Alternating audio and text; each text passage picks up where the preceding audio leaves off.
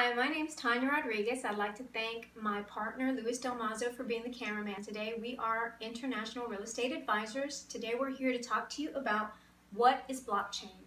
Blockchain is a decentralized ledger that records transactions. The transactions we're going to talk to you about today are real estate transactions and how blockchain is going to revolutionize the real estate industry in the near future. We're going to talk about three key points today. One of them is less fees and less friction.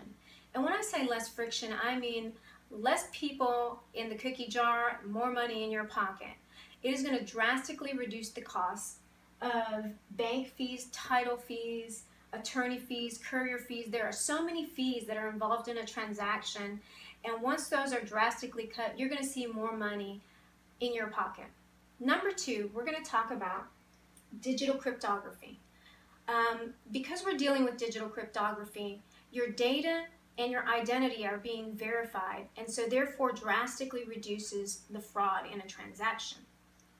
So when a buyer and a seller come together and they agree on this uh, contract, they create a smart contract.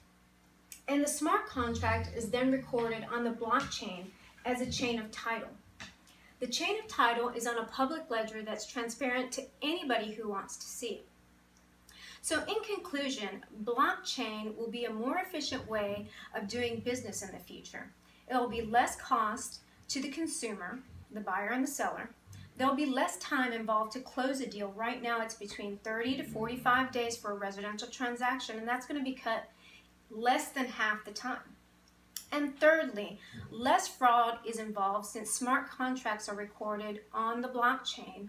So once it's recorded on the blockchain, it just can't be altered. We'd like to thank you for taking the time to watch our video. Please uh, comment and like below, and uh, we look forward to seeing you in the future. Have a great day.